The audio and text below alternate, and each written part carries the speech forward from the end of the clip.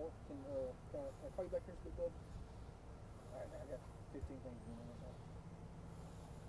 Hello?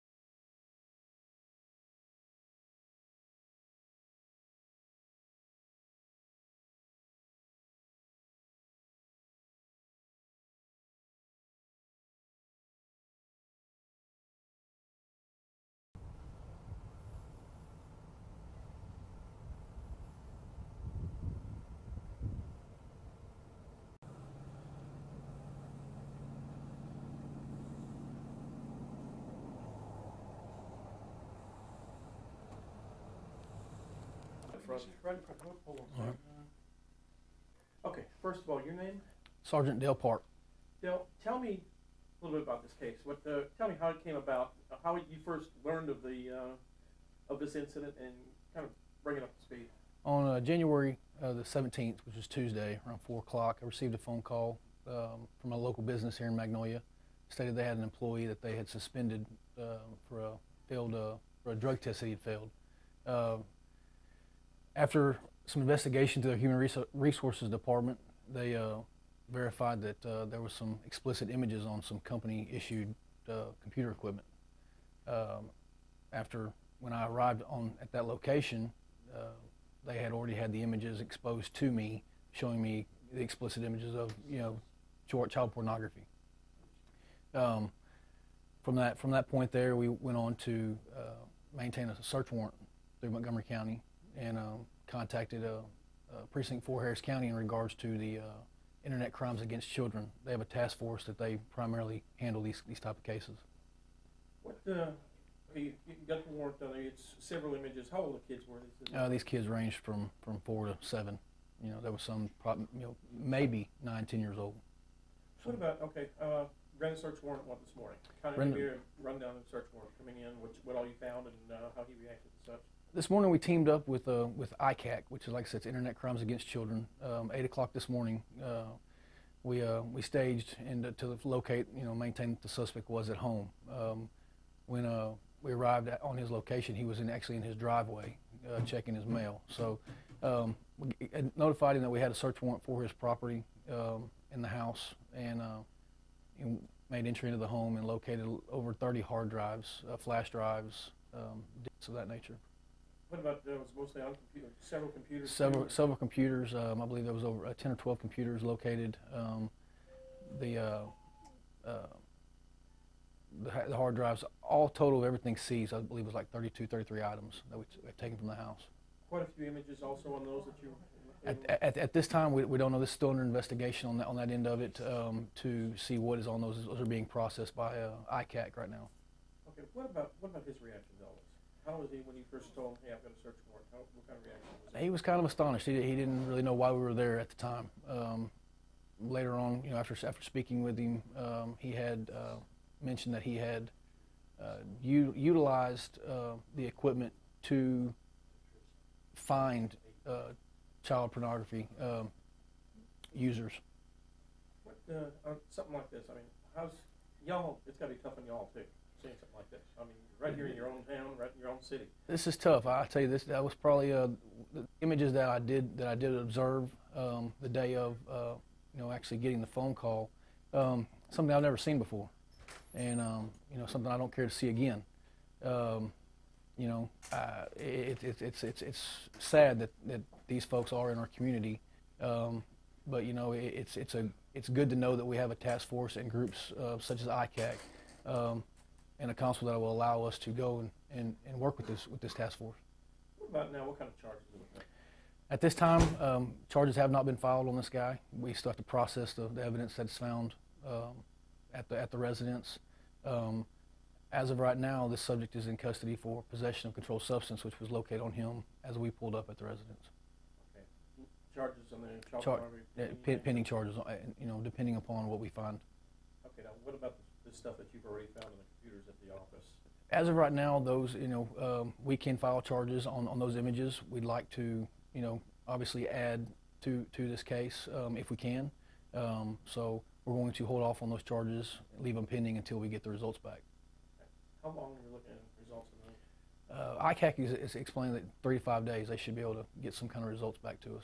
Okay, are you able to, be able to get a hold of them in three to five days with Yes, sir. what you've got Yes, right sir. now? Correct.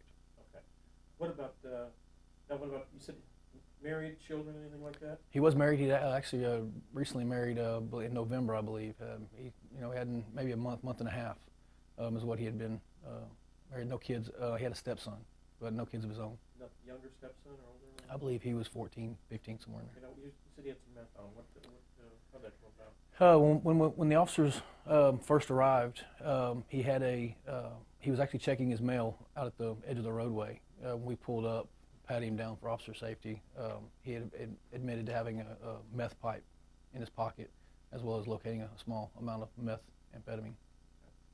All right.